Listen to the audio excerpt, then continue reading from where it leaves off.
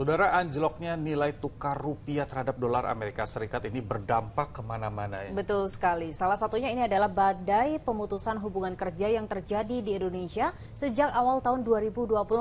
Nah lalu gimana ya Nabil kira-kira pekerja ini harus menghadapi ancaman badai PHK yang masih belum tahu kapan usainya. Selengkapnya dalam Cuanomics.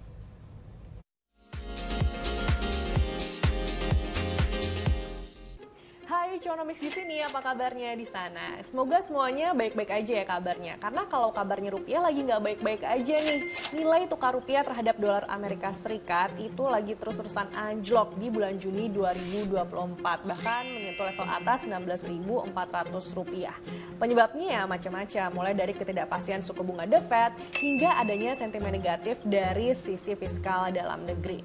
Tapi ya kalau kita bandingkan antara bulan Juni 2024 dengan di bulan Juni 1998 itu beda tipis loh. Jadi pada saat itu harga dolar Amerika Serikat menyentuh angka tertinggi sepanjang masa yakni sebesar 16.650 rupiah pada bulan Juni 1998 saat Krismon. Terus melemahnya rupiah itu bisa berdampak ke mana-mana. Salah satunya adalah muncul badai pemutusan hubungan kerja atau PHK. Walaupun badai PHK tahun ini juga kelanjutan dari tahun sebelumnya ya. Tapi nih kenapa akhirnya rupiah melemah itu bisa menyebabkan banyak PHK. Jadi gini, dengan melemahnya rupiah, harga bahan baku impor itu naik gila-gilaan. Kalau udah kayak gitu kan berarti beban biaya produksi suatu perusahaan itu jadi bertambah. Dan untuk minimalisasi kerugian, akhirnya pihak perusahaan harus melakukan efisiensi. Dan salah satu caranya adalah dengan melakukan PHK.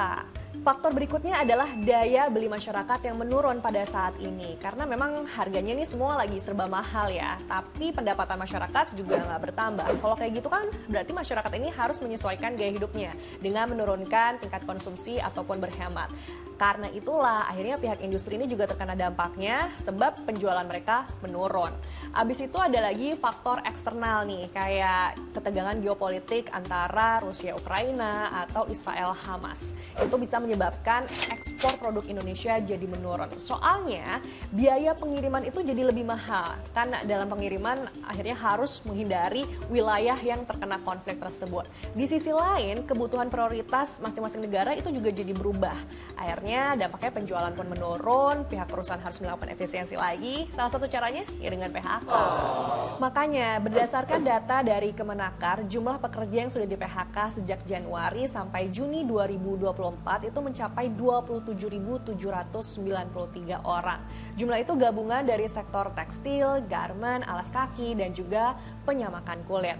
Tapi jumlah itu belum termasuk ya dari PHK yang dilakukan oleh salah satu perusahaan e-commerce yang sudah mem-PHK karyawannya di bulan Juni 2024 mencapai 450 orang. Nah, karena badai PHK ini lagi mengancam Indonesia di tahun 2024, makanya penting kita untuk sedia payung sebelum hujan. Jadi, kita harus mengelola keuangan untuk berjaga-jaga nih kalau seandainya badai PHK itu justru menerjang perusahaan tempat kita bekerja.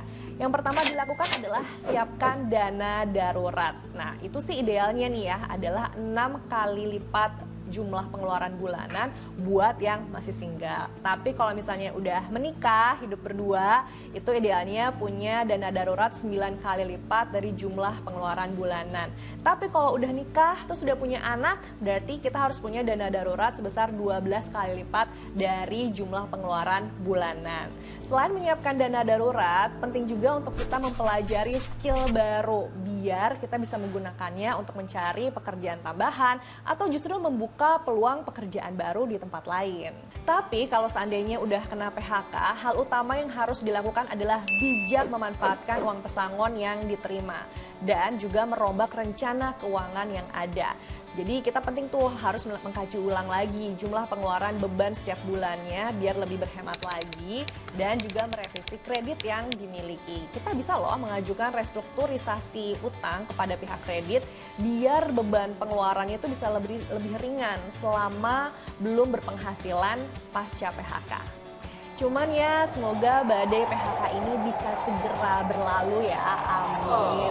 Kalau kamu sendiri punya keresahan apa nih soal badai PHK ini? Share ya di kolom komentar, tapi jangan lupa untuk like dan share konten ini. Sampai jumpa.